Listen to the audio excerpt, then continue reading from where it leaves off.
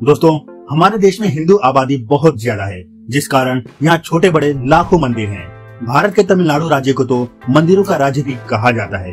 लेकिन दोस्तों, अगर मैं आपसे पूछूँ कि दुनिया का सबसे बड़ा मंदिर कहाँ पर स्थित है तो आप में से बहुत सारे लोग इसका सही जवाब नहीं दे पाएँगे।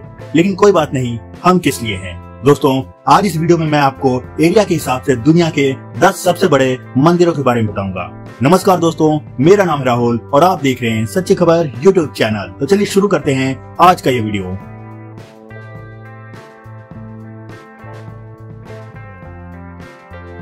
दोस्तों, भारत के तमिलनाडु राज्य के तंजावुर में स्थित बृहदेश्वर मंदिर दुनिया का दसवां सबसे बड़ा मंदिर है। इसे राज राजेश्वरम भी कहते हैं। कावेरी नदी के किनारे स्थित यह मंदिर भगवान शिव को समर्पित है। इसे राजा राज चोल प्रथम ने 1010 ईस्वी में बनवाया था। यूनेस्को द्वारा वर्ल्ड हेरिटेज साइट का दर्जा प्राप्त इस मंदिर का आर्किटेक्चर बहुत ही खूबसूरत है। पूरी तरह से ग्रेनाइट से बने इस मंदिर का मुख्य भवन 200 फीट ऊँचा है।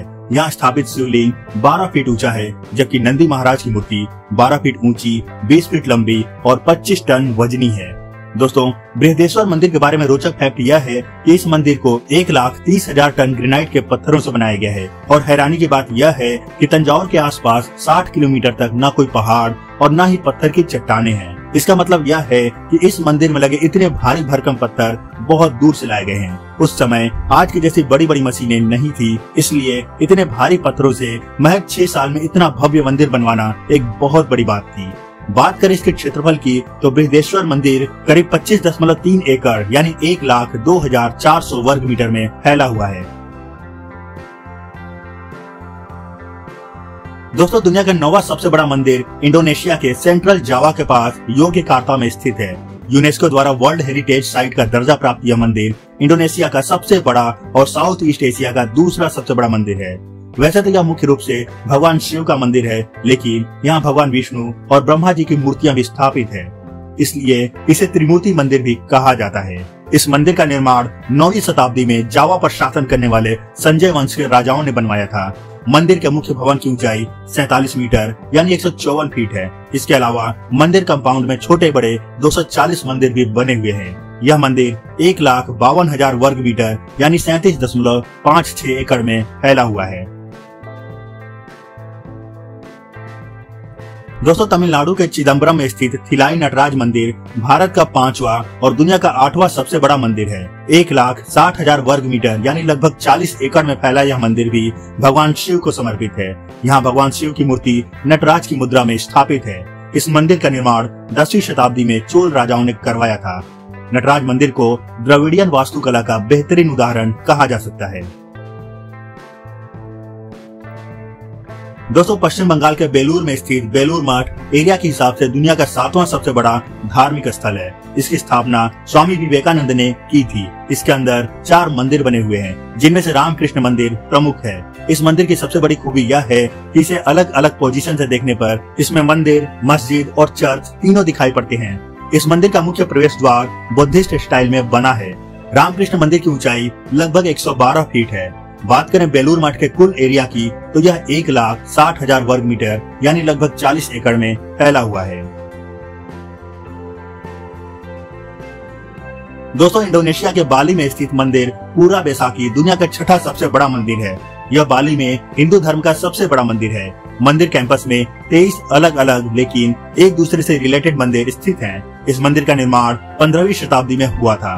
हर साल यहाँ लाखों लोग इस मंदिर को देखने आते हैं। पूरा बैसाखी टेंपल दो लाख वर्ग मीटर, यानी उनचास दशमलव चार दो एकड़ में फैला हुआ है।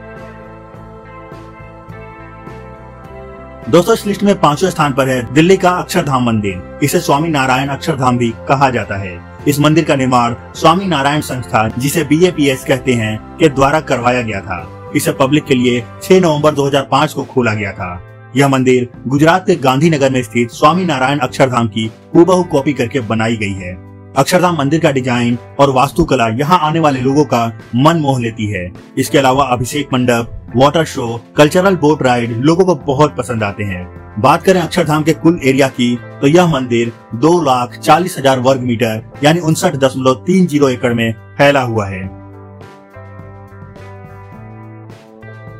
दोस्तों, इस लिस्ट में चौथे स्थान पर मौजूद है दिल्ली में स्थित छतरपुर मंदिर। इस मंदिर का निर्माण बाबा संत नागपाल जी ने साल उन्नीस सौ चौहत्तर में करवाया था। मंदिर का एरिया मुख्य रूप से तीन अलग अलग कॉम्प्लेक्स में बटा हुआ है। इसमें 20 से भी ज़्यादा छोटे बड़े मंदिर मौजूद हैं। इस एरिया का पहला कॉम्प्लेक्स मुख्य रूप से माता कात्यायनी को समर्पित है, जबकि दूसरे कॉम्प्लेक्स में भगवान शिव का मंदिर है। यहाँ स्थित मंदिरों का आर्किटेक्चर नॉर्थ और साउथ इंडिया का मिला जुला रूप है।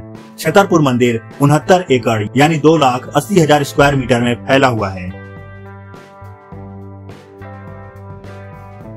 दोस्तों, तमिलनाडु के तिरुचिरापल्ली में स्थित श्री रंगनाथ स्वामी मंदिर दुनिया का तीसरा और भारत का सबसे बड़ा मंदिर है। दक्षिण भारत में भगवान विष्णु को रंगनाथ स्वामी भी कहते हैं। इस मंदिर में भगवान विष्णु की मूर्ति सोई मुद्रा में स्थापित है। श्री रंगनाथ स्वामी मंदिर का निर्माण छठी से आठवीं शताब्दी के बीच में चोल राजाओं ने करवाया था। हालाँकि विदेशी आक्रमणकारियों के हमले में इस मंदिर को बहुत नुकसान पहुँचा था, लेकिन चौदहवीं शताब्दी में पांड्या राजाओं ने इसका फिर से पुनर्निर्माण करवाया था। मंदिर कॉम्प्लेक्स में उनचास छोटे बड़े मंदिर भी स्थापित हैं और ये सभी मंदिर भगवान विष्णु के ही हैं। दोस्तों श्री रंगनाथ स्वामी मंदिर द्रविड़ वास्तुकला का जीता जागता उदाहरण है। हर साल, यहाँ दिसंबर से जनवरी के बीच में 21 दिन का एक वार्षिक समारोह होता है, जिसे देखने के लिए 10 लाख से भी ज़्यादा लोग आते हैं। जबकि पूरे साल में 40 से 50 लाख लोग श्री रंगनाथ स्वामी मंदिर में दर्शन के लिए आते हैं। यह मंदिर छह लाख इकतीस हज़ार वर्ग मीटर, यानी लगभग एक सौ छप्पन एकड़ में फैला हुआ है। देखा जाए तो मंदिर कॉम्प्लेक्स अपने आप में ही एक छोटे शहर के बराबर है।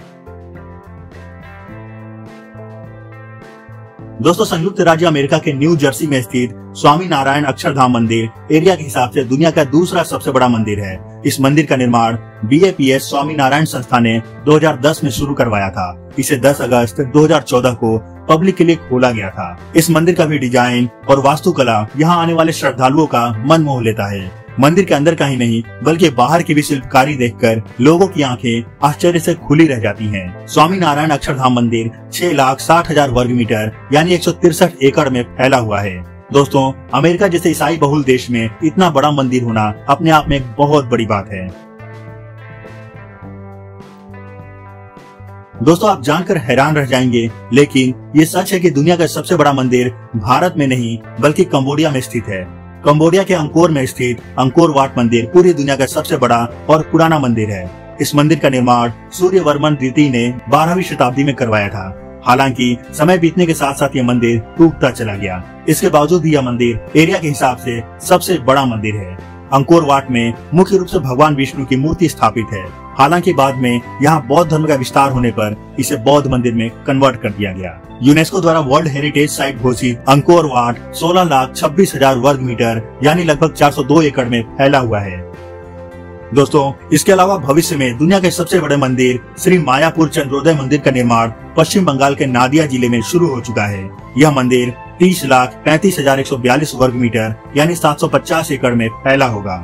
तो दोस्तों, आज के वीडियो में बस इतना ही। आपको यह जानकारी कैसे लगी इस बारे में कमेंट करके ज़रूर बताइएगा। वीडियो पसंद आया हो, इसे लाइक और शेयर ज़रूर करें। चैनल पर नए हैं तो सारी सब्सक्राइब करें और बेल आइकन ज़रूर प्रेस करें। फिर मिलते हैं अपने अगले वीडियो में। तब तक के लिए गुड बाय जय हिंद।